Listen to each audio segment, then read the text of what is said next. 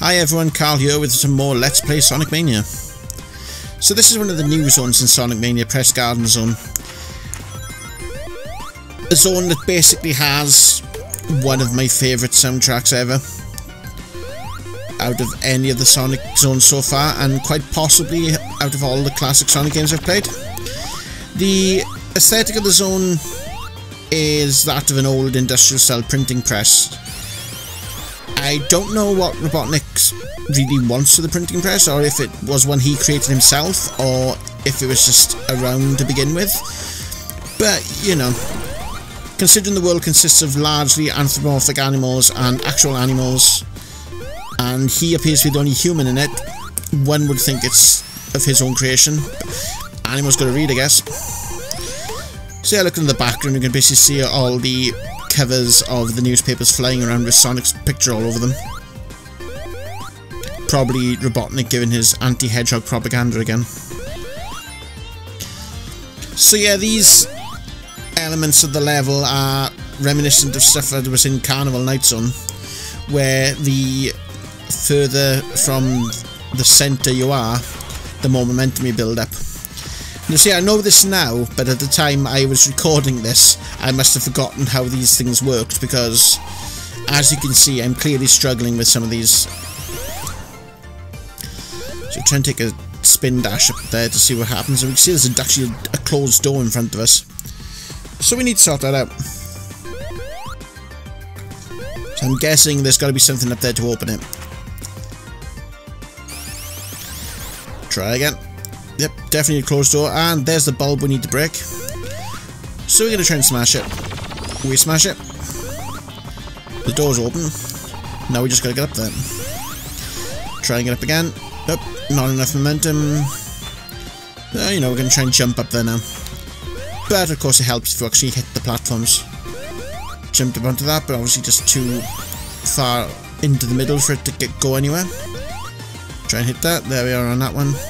Now all I need to do is jump and hit that one, but nope. I'm just going to hit the ceiling instead. Bounce off that, get up there. Damn it, Cal. Learn how to hedgehog. Make sure you and go up there. There we go. Yep. Oh, no. Oh, oh. Near missing the spikes there. So we'll just pick up speed in the spin dash and go. And we make it. Celebratory jump there. And some unused Sonic 1 enemies there, the rabbits, jumping their way out of an ink pot. So we just got this way now, seeing as he broke the uh, the bulb for the door. Take momentum, go over this, oh, hit the spikes. All that stuff there, and I chose to hit the spikes. I don't know. Right, we'll go this way. Wait till we get there, hit, hit the conveyor belts. Ah, these are a new element. The letters popping themselves out to form platforms. Just go this way, hit that. Jump over that one, get the checkpoint. And there's a nasty press there that could have caused problems if we'd stayed in there. And yet again we use Sonic's favourite anti-slowdown method, just hit the spikes. Break that, get the platforms going. Just try and see what's up here. There's got to be some sort of secret up here for it to actually have encouraged us to go this way. No. Oh, we can't hit that. Oh, foiled by the conveyor belts. Damn you. Let's go this way. Up, hit those. And that sends us up here. Straight into another crushing press. Just go through here. Love how those basically sprang us up there without any difficulty. So yeah, like I was saying, I love what Tee Lopes has done with the music for the stage. He has surpassed himself elsewhere in the game, mainly in the second act. I won't go into too much detail for the guys who have yet to have played this game or seen any videos of it. If you haven't played this game, I have to ask what's wrong with you. Quite frankly, this is awesome. But he does exceed himself in Act 2, which you will hear soon enough. I don't want to say too much more, but uh, it'll be worth the wait. So we're just going to go up this way now, get Take all the momentum from that. Oh. Let's try and go up this way. Can we get there? Nope. Hit the spring, that didn't work to plan. Well, we're gonna go down here. Tails has decided as soon as he shot down there.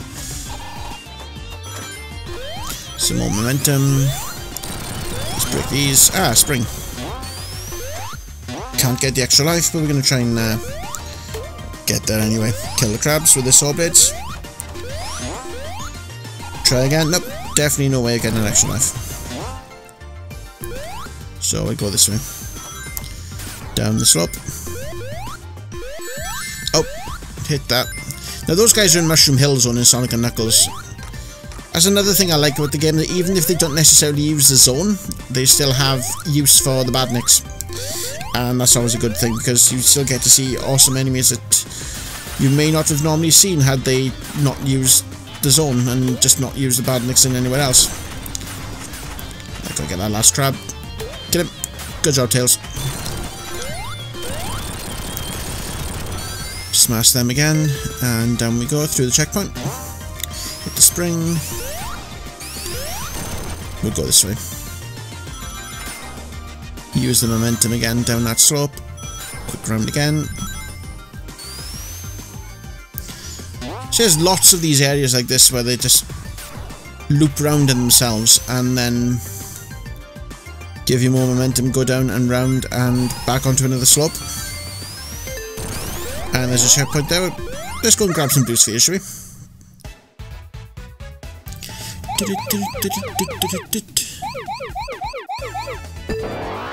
Oh, you know, just hit the pinball bumper and then just go back onto a red sphere too early. Oh, there's a pit. And now it's boss time for Act 1. So as you can see there, it just smashed its saw blade. So that's basically the whole principle of this fight. When it goes for the grey crates, it will smash them. But when it goes for the orangey brown crates, it'll smash the saw blade. So we have to go in and hit it then when it's weakest.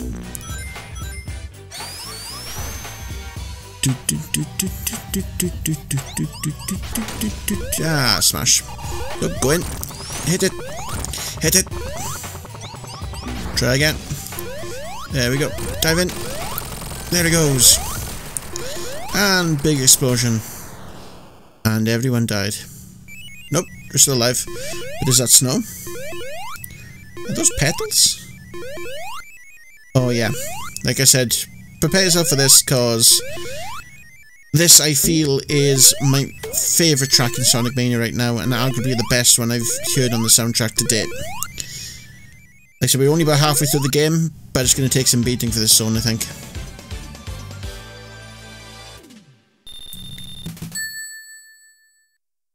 As we go out into the great unknown.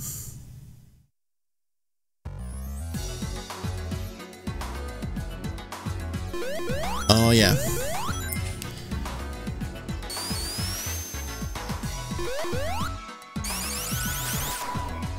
Traditional Japanese landscape. Blossoms. Petals. Awesome music to go with it. Just... Oh. And dart traps apparently. Let's try and get up there again. Oh. Oh, and there's our first death. Not at all an excuse to hear this breakdown again.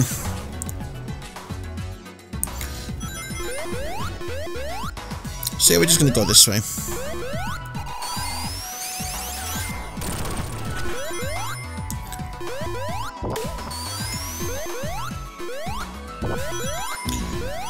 Dodge the dart system. And two, one.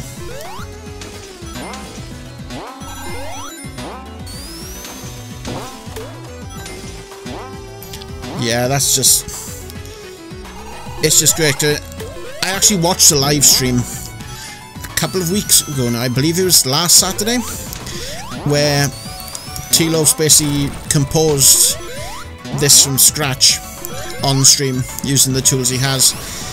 And I just wish I had half of the talent that guy had because it was just phenomenal seeing the process of how he put all together.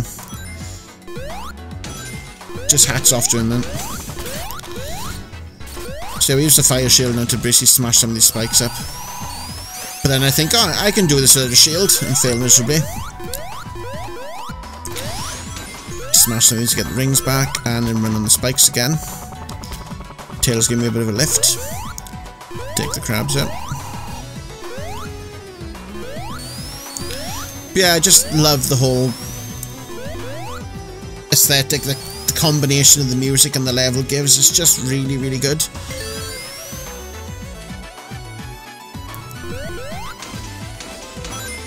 Just awesome, basically. So, and the fact it actually takes things like these, which I believe are in Ice Cap Zone, that allowed you to basically just fly around in a block of ice and just smash anything that got in your way. Speaking of blocks of ice, there's some there. Hmm. How are we going to get rid of them? Ah, well, this is the beauty of it, see? We'll just jump over there now and head towards this direction. We'll find another spring.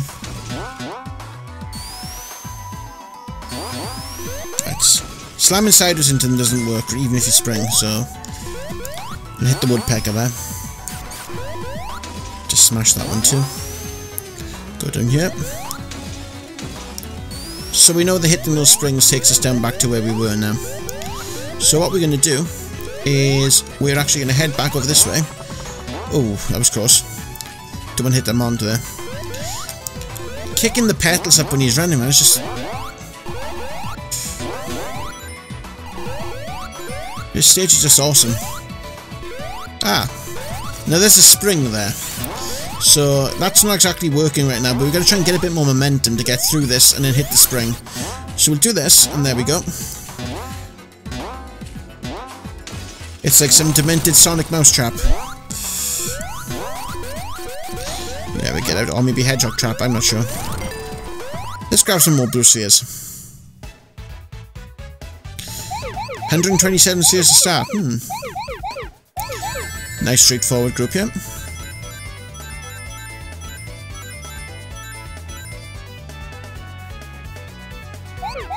Just running through here now. Nice little path to get round.